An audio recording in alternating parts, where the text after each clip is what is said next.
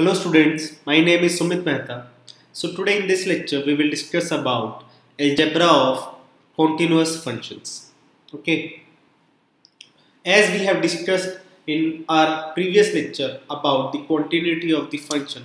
So now we will discuss some theorems based on continuity of the function here. Okay.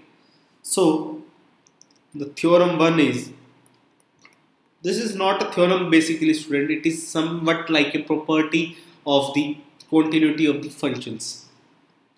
Okay. Suppose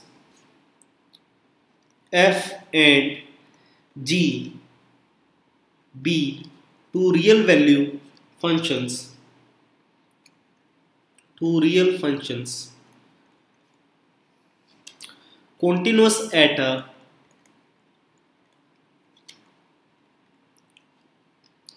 real number c.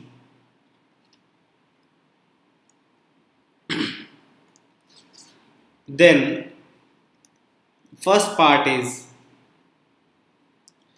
f plus g is also continuous at c also continuous at the number c. F minus g also holds true is also continuous at c. Third is f multiply g is also continuous at C. And the fourth part f divided by g is also continuous at C but provided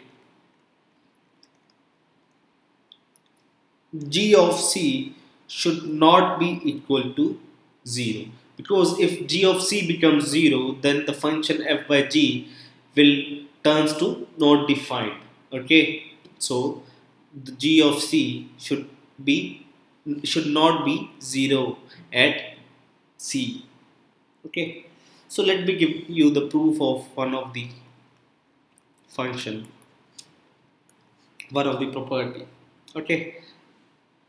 So we need to check whether the function f plus g at x equal to c is continuous or not. So I will check the limit here. Limit x tends to c f plus g of x which is limit x tends to c fx plus g of x. Okay by the definition of this so we can break the function in separate limits. Limit x tends to c fx plus limit x tends to c g of x. Okay? So as we have clearly stated earlier also these two functions are continuous at a real value function. So we can say that this is fc plus gc. So this is f plus g times c so by this definition the function is continuous at is also f plus g is also continuous at c so similarly students, we can prove for f minus g, f into g and f by g. Okay, so this all holds true for means these all four functions if f and g are two continuous function at real number c then this all holds true. Okay. Now let us move to another theorem or property. The theorem number 2 student here is suppose f and g are real valued functions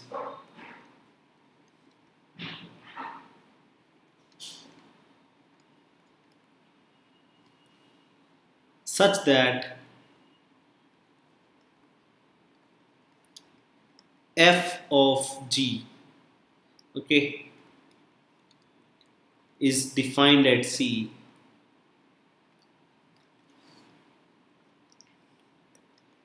If G is continuous at C and if F is continuous at g of c then f of g is continuous at c.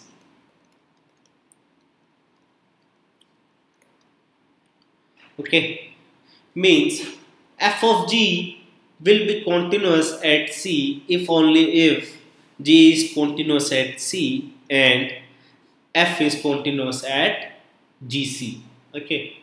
I'll prove this theorem by giving you one example.